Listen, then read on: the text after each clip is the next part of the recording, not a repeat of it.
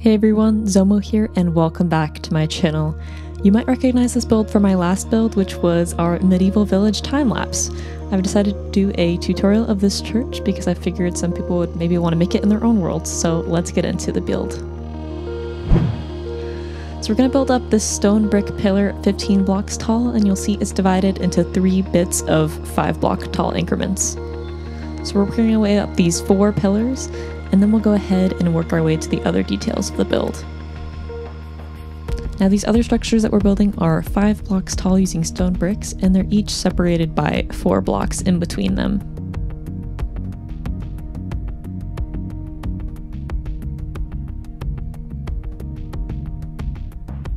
Awesome. Now we can go ahead and fill out these horizontal parts. We're working our way up at these three different rings that are all separated by five blocks. Perfect. Now we can go ahead and figure out the rest of these walls. So these walls are going up diagonally until they reach the top of this tower, and then we'll go ahead and stop right there, and then we'll go ahead and continue this other pattern three blocks inward at a diagonal from here. Just like so and then we'll finish the rest of the frame using the same diagonal pattern and stopping at the same height level.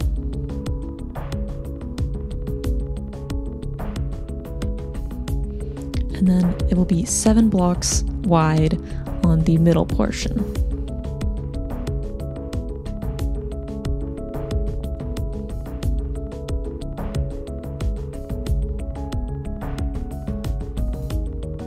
Now this build is definitely able to be made longer if you want, if you can totally add another four block section to make another ring of these if you want your church to be longer.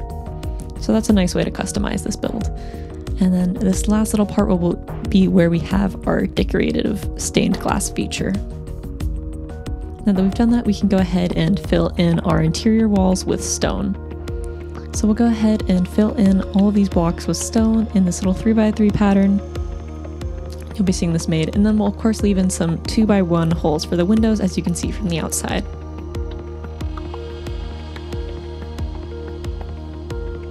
So we'll go ahead and leave in four of these windows on the top layer, and then for the second part of this tower, we'll leave in one 2 by one window.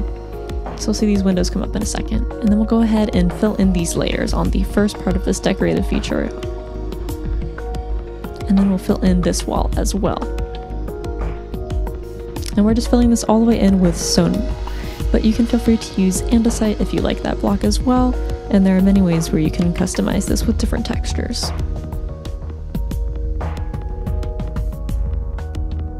We'll go ahead and fill in most of this back wall as well, but we'll leave a little bit of a gap for our stained glass feature as you can see.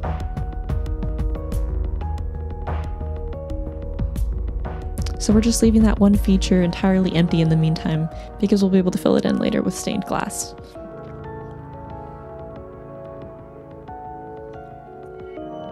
And now that we've done that, we can go ahead and move on to our windows, which will be these 4x4 features with a 2x2 gap for our windows.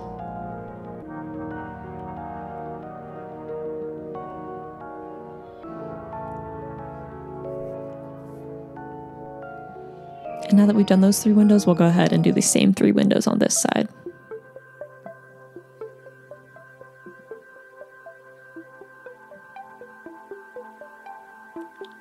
Awesome.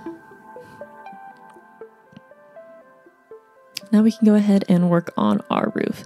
So we're filling this in with dark oak stairs on each of the diagonal parts until we reach the flat part, and then we will transition to using slabs, and we'll fill that in with the entire flat part, all the way up to the edge, as you can see. And then once we reach that edge, we can go ahead and return to these staircases all the way down, and it'll be overhanging the smooth stone by one block, but it'll meet just the end where those stone bricks connect. And then I'll go ahead and speed out the rest of this process.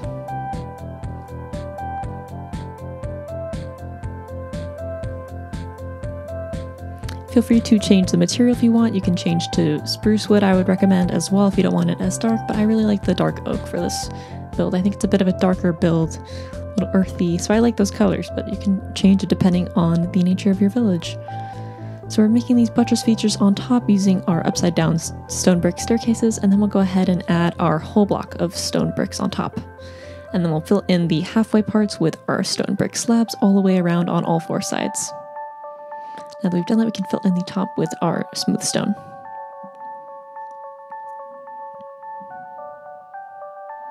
And then we can go ahead and add our stone brick walls on each of these diagonal parts. This is a pretty straightforward step, just go ahead and add it on all of those diagonal blocks. Awesome. You can also go ahead and instead of using that wall there, you can even use stair blocks and face them outward to make them jagged. And we filled in that little back part with stone bricks so that it was filled in. And we'll go ahead and use our green stained glass because I really enjoy the way they look in this texture pack. You can also use blue would be a great color or yellow I think would also be a great color. And then we'll go ahead and use the same color for these windows as well.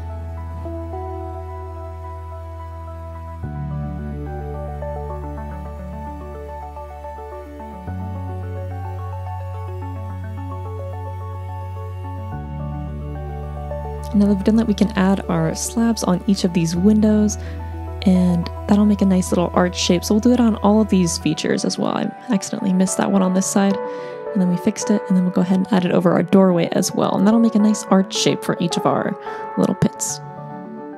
Then we added a door and now we'll go into the inside for a bit.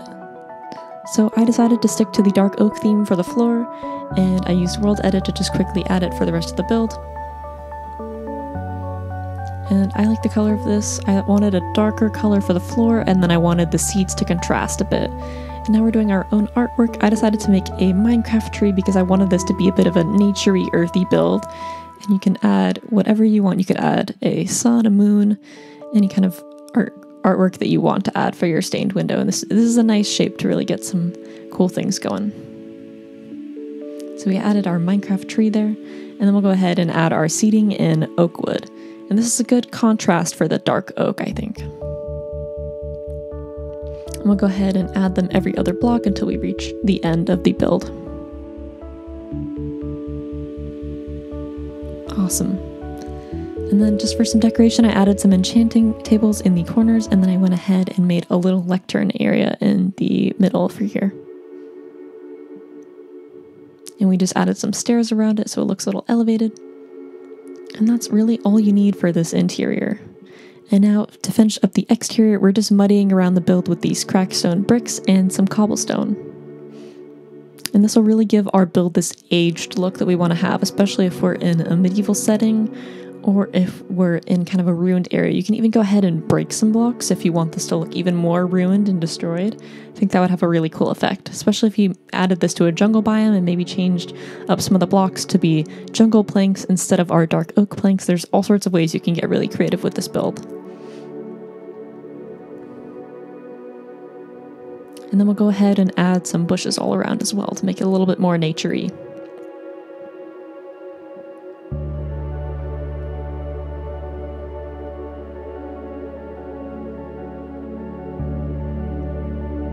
And now we're done with the build. I'll give you guys a 360 fly around so you can use this for any measurement purposes and just to look at the build and see if you really want to make it for yourself. I love the way the stained glass looks in this shader pack, so feel free to check that out in the description as well. This is what the interior looks like. Hope you all enjoyed this tutorial. It was really fun making this build in our medieval village, so I was really happy to make a tutorial so you guys could add it to your own worlds. It was very fun making this, and I hope you all enjoyed this video. If you enjoyed it, remember to like, comment, and subscribe, and hit the notification bell if you want to see more cool tutorials and time lapses on this channel. Alright, and I'll be saying peace.